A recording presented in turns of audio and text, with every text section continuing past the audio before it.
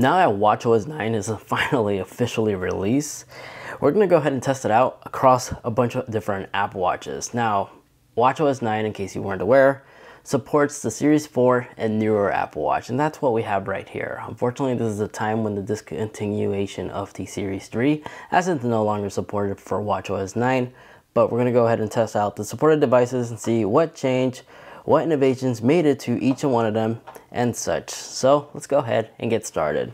So a new feature for the Series 7 that it received in WatchOS 7 was the compass backtrack ability. So if we grab a Series 7 and by holding down the power button, we have the new compass backtrack. Now it supports the Series 7. Unfortunately, if we pick up the SE, I notice it doesn't work. So it doesn't have the compass ability. But the Series 5 same outcome, does not support it. However, the Series 6, if you hold it, it supports it. So the Series 6 is probably one of the best value Apple Watches now because it actually holds some of the new Series 7 and the Apple Watch 8, or Series 8, and the Apple Watch Ultra ability. So if we go back and pick up the Series 7, so this is the Compass app. It's totally redesigned. It shares the same features that we've seen when Apple previewed it on the Apple Watch Ultra, so it has the backtrack capability. And from our previous test, it only supports the Series 6, 7, 8, and Ultra. I'm not sure about the SE2. I have to wait until I get my hands on it, which is this Friday, so make sure you are subscribed. But onwards to the video. Here's the Compass app. UI is totally redesigned. You have the capability to zoom all the way out. So as you're tracking your backtracks, log you can actually see like a little mini map you could follow in case you want to head back. Now, in order for it to actually track, you have to make sure you you do hit start, and it'll actually give you the capability to pause it right here. You're able to retrack your steps whenever you head back, or you decide to, you can delete it if you're okay, you don't want to. And then over on this side, this icon over here allows you to actually create different markers. So it'll actually pin drop a marker you could change the icon, the color of it right here. So if you find an outhouse, you could select toilet, the pooper, the great white one. And of course, for privacy issues, I'm gonna blur this because it literally shows me a map where I live. And uh, yeah, uh, privacy concerns, I'm not doing that. But just take my word for it. It shows like a little mini map. And to the most part, it's really accurate. And then over here, if you want the other information about your compass, like your incline, elevation, and latitude. This is how it looks like and you have a little moving arrow right here that also indicates north. So the compass app, that's basically how it looks like now. And the complication also has been revamped for the Series 6 and newer Apple Watch. Now low power mode, the brand new and improved low power mode can be found in the control center. Just tap the battery life percentage, hit low power mode, and it'll give you a brief summary on what it does. So it will disable your always on display. It will turn off some heart rate sensors and stuff, accelerometer sensors, and your notifications will also be slightly delayed. But with this mode enabled, it's said to be able to allow the Apple Watch to last up to 30 hours under a single charge. And yeah, when you look at the brief description, it does turn off a lot of things. Now to turn on, you simply just hit turn on, or you could select turn on for how many days you like. So three days is the max. And the supported devices for this as soon as we enable it, just go ahead and turn it on. And then the percentage is yellow and you have this little yellow halo on top. And then the notification section will also show a little halo, yellow halo as well, letting us know that low power mode is indeed enabled. Now for the Series 4, you, it is supported on the Series 4. Same options and such for the days. The Apple Watch S5 also supports it. Just unfortunately, the Apple Watch SE does not. You just have the regular reserve power mode. The Series 6 supports it. So all the other Apple Watches support this except for the Apple Watch SE. But in this low power mode, if you have nightstand mode enabled and you dock your device, it is now a yellow animation and the little lightning bolt right here, if you tap on it, it gives us a new display.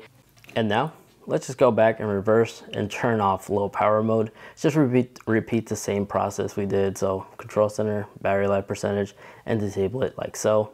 And then also the turn off uh, screen is also different now too. So to turn off your Apple Watch, you tap the little top corner right here. And here's where you'll locate the power off slider.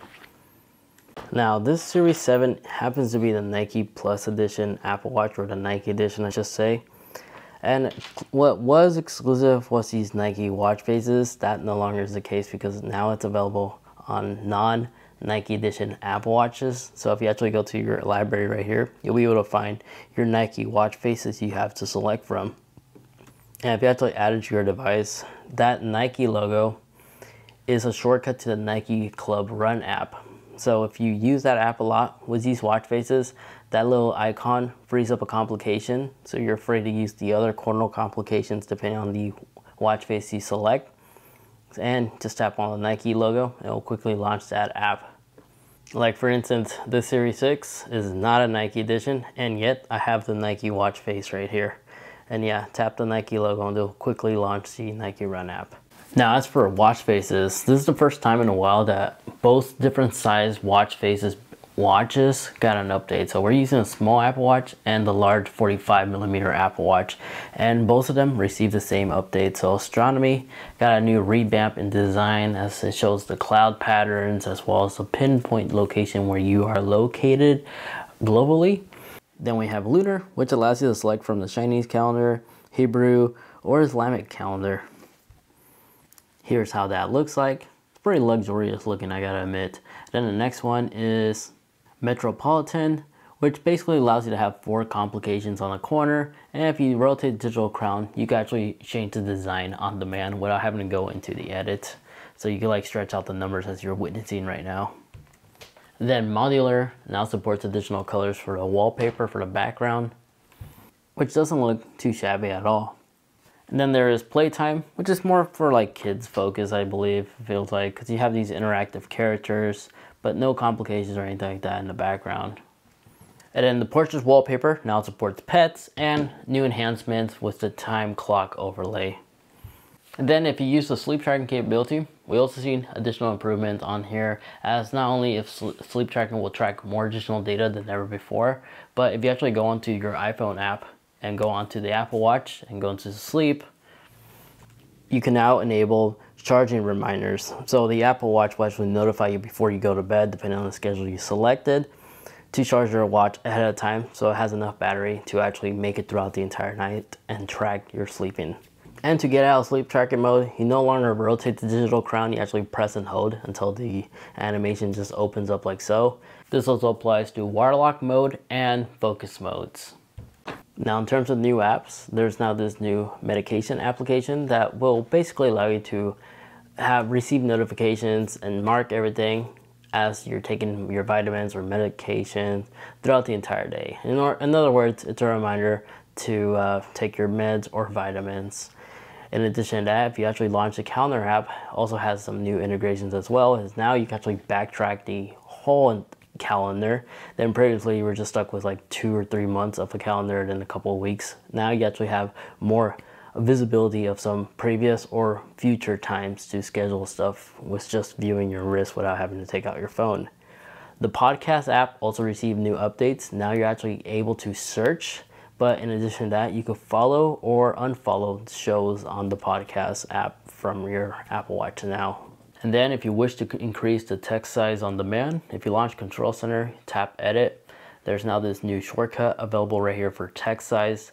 And Apple not only gave us this ability, but now the text size can go up to nine times. So they gave us more sliders to choose from and select. And if whatever said reason you have no access to your display, display is not responding, or you're just having a hard time viewing the display on your Apple Watch, if you go in your settings and go into accessibility on your iPhone, you can select Apple Watch mirroring right here. A little window will pop up and this will give you full access to your Apple Watch, including the digital crown and such. Now it can be laggy at times, but it actually does work pretty well for the most part. And yes, you do have access to once more the digital crown and the power button right here on the side. And then an interesting feature that Apple integrated if you need additional control you can actually pair a Bluetooth wireless keyboard to the Apple Watch now. I'll test that more in detail in a future video. Another update, AFib is now supported with Apple Watches that support ECG. So you can actually track your AFib now if you have a history of that. And if you're using cellular connection, if you have a cellular Apple Watch, international roaming is supported now for the cellular version Apple Watches on WatchOS 9. And then as for the workout app, a lot of these workouts receive additional information that they now can display. For instance, the most popular one is the heart rate zone. So if you're running outdoors or something like that, or you scroll down, but just scrolling down, this is where you'll find additional information for other things. But here you can actually track the zone that your heart rate's at for to maximize cardio or fat burning zone you, you want to be in if you're working out. You can see this information right here on your wrist. So other than the Apple Watch SE not receiving the new low power ability, it's not bad. This upgrade isn't bad at all. This firmware update had some additional surprises and stuff that Apple didn't really cover during their keynote, but I'm glad I'm able to confirm what's supported and what's not. And I'm also really satisfied that the those new watch faces are also available even on the smaller screen version Apple Watches. So I'm glad everybody got those new additions. Aside from that, make sure you are subscribed because I plan on checking out the Apple Watch SE2 to see if this new model, I'm really curious, has the compass capability as well as like backtrack as well as the low power mode. I'm gonna go ahead and test that out as well as make like a comparison video against every single Apple Watch, including the Ultra. So make sure you are subscribed for that. Other than that, if you got some good useful information out of this video, you know what to do. Greatly appreciate it if you can actually leave this video a like, as those help me out a lot, and get subscribed, especially if you enjoy a lot of tech videos just like this. If you'd like to watch more, maybe my recent video, go ahead and check it out right over there as I cover everything new, all the cool hidden features and tips and tricks available for iOS 16 for your iPhone. And then that video over there, that is the video YouTube's recommending specifically for you. Thank you so much for watching, take care, and I'll catch y'all in the next one. See ya.